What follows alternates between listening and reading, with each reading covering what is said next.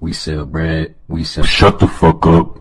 Listen, I just need a baguette and a brioche. We don't have either of those. You can get the gluten-free white bread, the potato bread. What the fuck is gluten? Take that shit out. It's gluten-free. I don't care if it's free. Swear on your fucking Yeezys. If you wanna fight, we gonna fight. You trying to be on World Star? What, you gonna record it? Yeah.